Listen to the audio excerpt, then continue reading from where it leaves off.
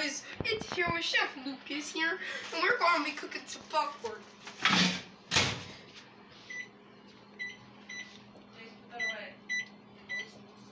Put it away. Put it in our room. Wow.